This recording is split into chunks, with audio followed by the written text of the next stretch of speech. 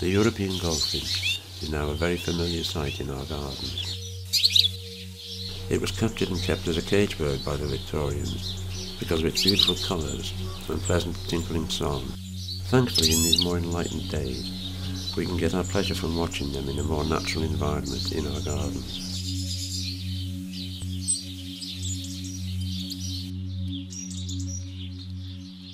The goldfinch is probably the most easily recognisable finch to visit our gardens.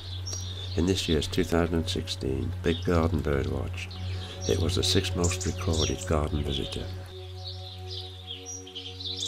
It has a black head with white cheeks and a bright red face mask, black wings with a broad yellow band on them. Here the male is using them in an aggressive threat display, but it also shows them off in its courtship display to the female.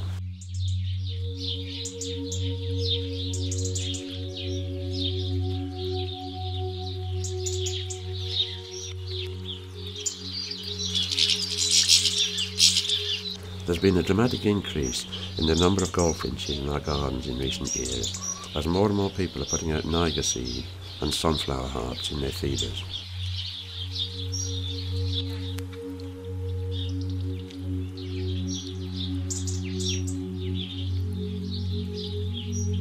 The goldfinch's long and slender pointed bill is ideal for extracting the seeds from deep in the heads of teasel, thistle, and also for picking out the exceptionally small seeds from ragwort.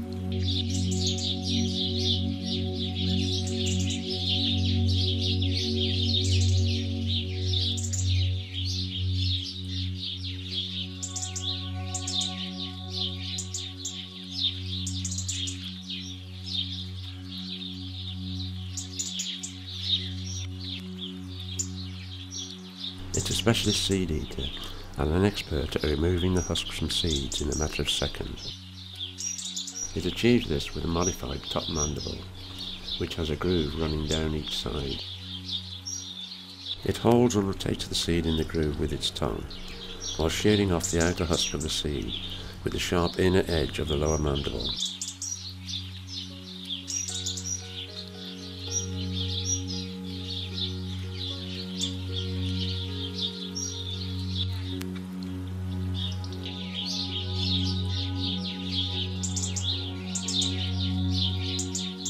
The groove is small at the front of the bill and gets larger towards the rear, so it can accommodate a wide range of seed sizes. Just another little wonder of nature.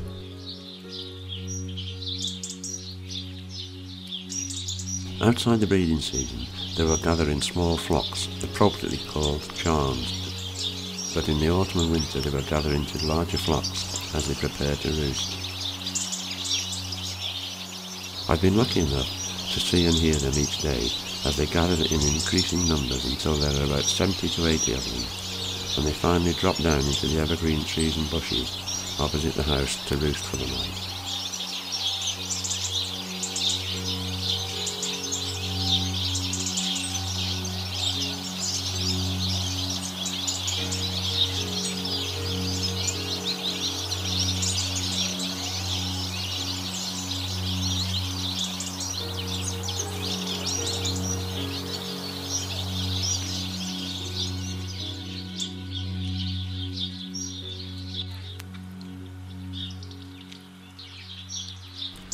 Telling the sex of goldfinches with any certainty is a tricky problem because there can be quite a lot of variation in their markings. There are three main features to look out for that will give a good indication as to whether they are male or female.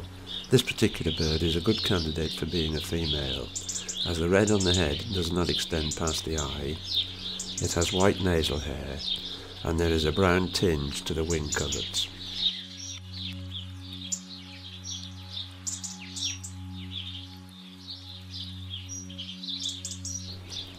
With the male, the first and most obvious feature is that the red on the head extends past the eye. The second is that the nasal hairs are dark or even black. And finally, but not too obvious to see, is that the coverts on the wings are completely black. I would say this one is almost certainly a male. Here we have one with extensive red on the head and black nasal hair which says male.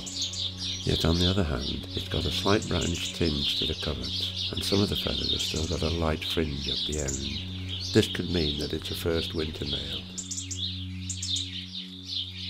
When the young are first hatched, the parents will feed them with a paste of crushed insects and husked seeds, bound together with water and mucus. This is stored in the crop and then regurgitated for the nestlings.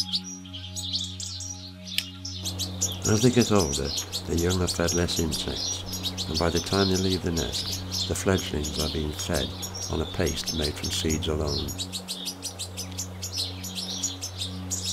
As fledglings and juveniles, they have the basic wing and tail colours, but will not lose the stripy grey head and body markings till they molt in late summer or early autumn and get their full adult plumage.